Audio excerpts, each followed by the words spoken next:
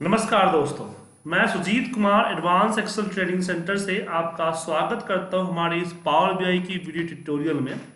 तो last video में हमने डिस्कस किया था कुछ बेसिक एंड कुछ theoretical structure of the power BI आज हम पावर बीआई के बारे में इस वीडियो में और ज़्यादा अच्छा बात करेंगे और ज़्यादा आगे की चीज़ों के बारे में बात करेंगे। तो सबसे पहले हम पावर बीआई को ओपन करते हैं। हमने पावर बीआई को इंस्टॉल कर लिया है। इंस्टॉल करने के बाद हमने एक माइक्रोसॉफ्ट का अकाउंट भी क्रिएट कर लिया है और छः महीने के लिए मुझे फ्री मिला हुआ है। अब जैसे जैसे आपके सामने फ्री हो रहा है तो इसमें देखिए, ये आपका विंडो है। हालाँकि आप अकाउंट ना भी क्रिएट करें तो क्लिक करके आप यूज़ कर डेस्कटॉप वर्जन को यूज़ कर सकते हैं बट रिपोर्ट शेयर वेयर करने के लिए तो आपको एक ऑनलाइन पाथ तो चाहिए। अदरवाइज़ आप रिपोर्ट पीडीएफ में और नहीं तो पावर के सॉफ्टवेयर में ही सेव कर पाएँगे। तो यहाँ पे हमारे पास साइन इन है, ट्राई फ्री है। इस पे हम अभी आते हैं उससे पहले यहाँ पे कुछ ब्लॉग्स के बारे में दिखे हैं, इसके बारे में जान लीजिए। जैसे कि व्हाट्स द न्यू इस पर क्लिक करेंगे तो आपको माइक्रोसॉफ्ट की साइट पे चला जाएगा, जिसमें एक आर्टिकल्स मिलेगा कि पावर वी में क्या क्या नया है, जिसमें आपका रहा है modern reporting latest visualisations data connectivity data preparation इन सबों के बारे में आपको वह आर्टिकल्स वह वीडियो समझाया हुआ है। उसके अलावा अगर हम ते हैं पावर बी आई ब्लॉग क्योंकि आप पावर बी आई सीखने जा रहे हैं तो पावर बी आई की जो अपडेट्स हैं पावर बी आई की जो न्यूजेज हैं, उनके बारे में भी नॉलेज होनी चाहिए। तो आप पावर बी आई ब्लॉग पे चले जाएँगे तो यहाँ पे आपको पावर बी आई का ब्लॉग मिल जाएगा, जिसमें आप पावर बी आई से रिलेटेड बहुत सारी चीज़ें यहाँ पे आपको दिखने को मिलेगी। उसके बाद अगर हम फॉरम में जाते हैं, जहाँ पे आप अपने क्वेश्चंस वगैरह डाल सकते हैं, जैसे बहुत सारे आप वेबसाइट पे जाते होंगे आक्समी डॉट कॉम है क्वेश्चन याहू है, ऐसे बहुत सारे साइट्स हैं जहाँ पे आप अपने क्वेश्चंस को पुट करते हैं और जो उनसे एक्सपर्ट मेंबर्स हैं आपके जैसे भी और मेंबर्स होंगे जो ऑलरेडी एक्सपर्ट होंगे वो क्वेश्चंस को उनके ऊपर जवाब देंगे। जैसे कि यहाँ पे लिखा हुआ है fox आक्स the anything question and answer यहाँ पे आ, आप अपने क्वेश्चन आंसर दे सकते हैं।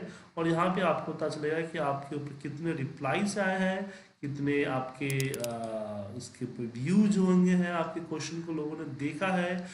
किसको किसने रिप्लाई अगर सक्सेसफुल कर दिया कि हाँ मतलब किसी ने प्रॉब्लम किया और किसी ने जवाब दिया, आपको पता चला कि हाँ ये प्रॉब्लम आपने लगा दिया कि प्रॉब्लम सॉल्व तो फिर यहाँ पे इस तरह का टिक मार्क आ जाता है कि प्रॉब्लम सॉल्व हो गया. तो अपनी प्रॉब्लम को आप यहाँ भी फाइंड आउट कर सकते हैं या फिर नया प्रॉब्लम पूछ सकते हैं माइक्रोसॉफ्ट की फॉरम के ऊपर. उसके बाद बात होती है ट्यूटोरियल्स की. देखिए यूट्यूब पे मेरे और मेरे जैसे बहुत सारे लोगों ने power B I related videos डाल रखे हैं। लेकिन ट्यूटोरियल पे क्लिक करेंगे तो आप माइक्रोसॉफ्ट की ऑफिशियल ट्यूटोरियल साइट पे चले जाएँगे।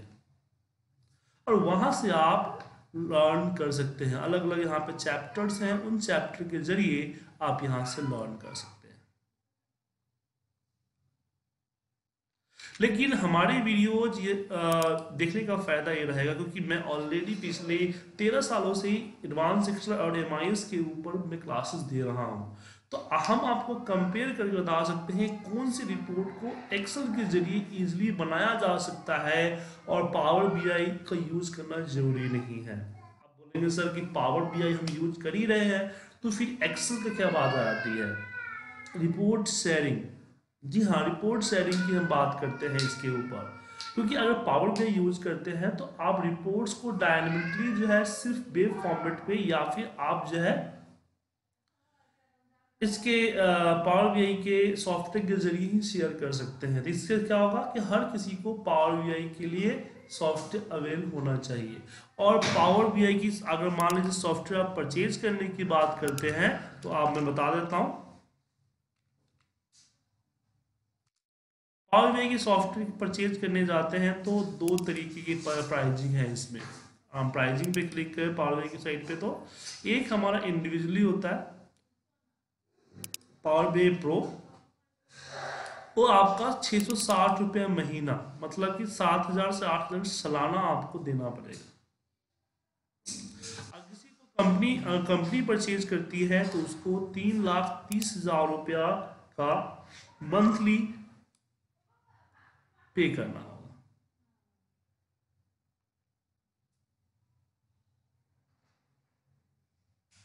तो आप समझ सकते हैं कितनी महँगी सर्विसेज़ है तो हर कोई इसको अवेल नहीं करेगा, क्योंकि आप अगर साइन अप फ्री करते हैं तो फ्री आपको पाँच छह में एक सौ अस्सी दिन के लिए देता है। इसलिए तो अब यहाँ इसलिए हमें पता होना चाहिए कि कौन सी चीज़ को एक्सेल पे हम इजीली कर सकते हैं और कौन से हमें पावर बीआई की ज़रूरत पड़ेगी। इसलिए हमारी ट्यूटोरियल को देखने से एक बेनिफिट आपको ये भी मिल सकता है। अब हम मान लीजिए ट्राई फ्री करते तो अपनी अकाउंट क्रिएट कर सकते हैं। अकाउंट क्रिएट करने के लिए मैंने बताया था कि आप अपनी कंपनी का आईडी यूज़ कीजिएगा। और मैं यहाँ से मेरी अकाउंट ऑलरेडी क्रिएटेड है तो मैं यहाँ पे अपनी ईमेल आईडी डालता हूँ। ईमेल आईडी हमेशा कंपनी की होनी चाहिए। अब मुझे यहाँ पे पासवर्ड डालने की बात कर रहा है तो पासवर्ड में, मान लीजिए मैंने अपना पासवर्ड डाल दिया।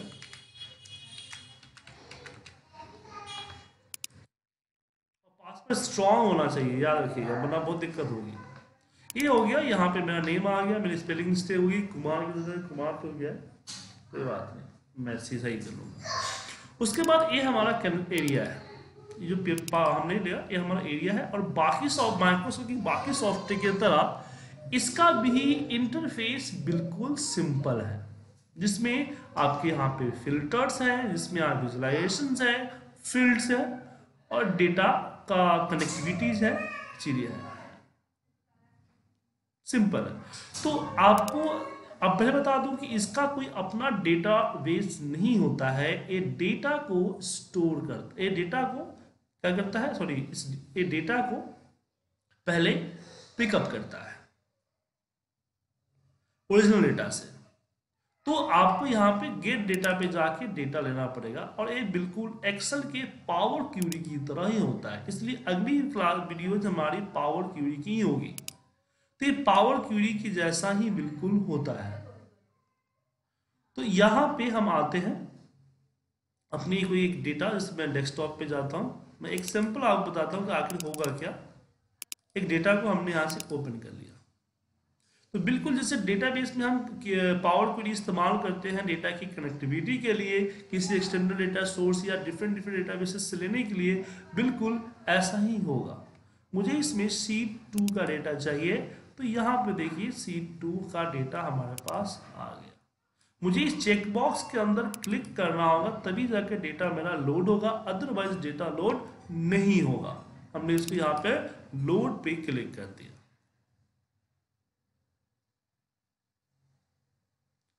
अब मेरा डेटा लोड हो रहा है। तो डेटा का ये यहाँ पे जो है प्रतिबिंब होता है मतलब कि जस्ट इसका एक पार्ट होता है। ओरिजिनल डेटा यहाँ पे नहीं होता। है ओरिजिनल डेटा कहाँ पर होता है?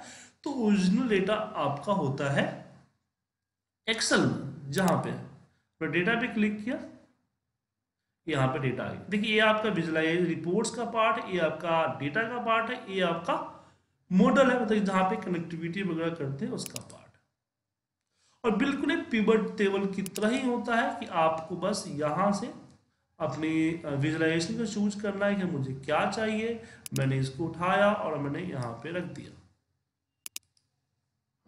और फिर इसमें अपना हम क्वांटिटी को लेते हैं क्वांटिटी क्वांटिटी ले लिया। इसमें मान लीजिए हम दो फ़ील्ड देते हैं, क्योंकि बहुत सारे चार्ट जो है, वो उसके हिसाब से ही वर्क करते हैं।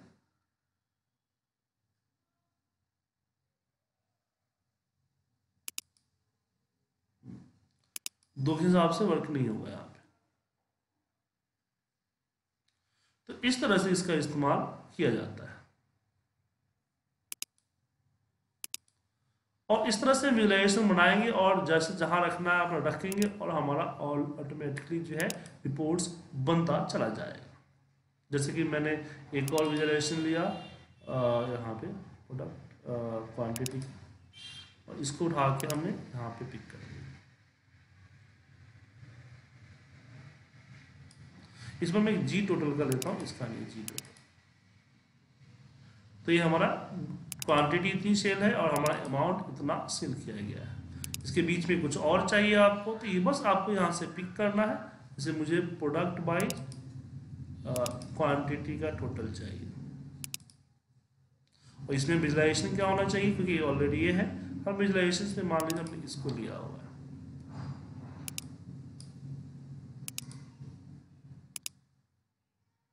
तो ये हमारा दिख रहा है।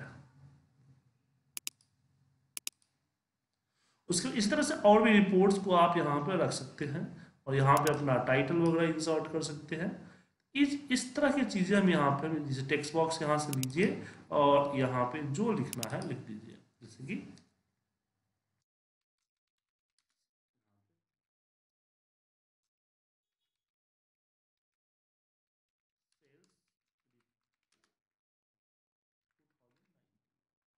और ये बहुत बड़ा है, इसको छोटा कर देता हूँ।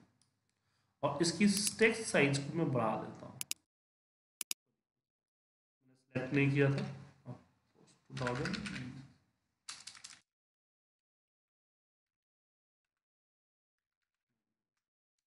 लिखने से पहले हम साइज़ को बढ़ा सकते हैं या लिखने के बाद बढ़ा सकते हैं।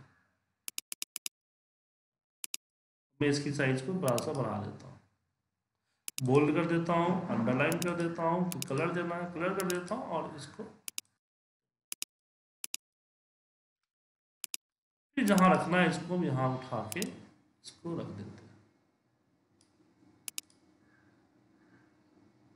तो ऐसे और भी रिपोर्ट्स वगैरह हम क्रिएट कर सकते हैं।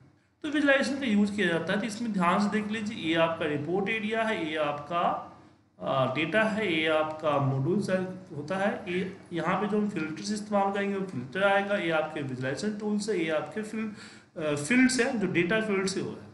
अब इसके बारे में हम आगे आगे क्लासेस में अच्छी तरीके से जानेंगे। इसी तरह से हमारे वीडियो पे बने रहे। वीडियो अच्छा लगे तो लाइक कीजिए, चैनल को सब्सक्राइब कीजिए और कोई भी डाउट हो तो मुझे कॉल कीजिए।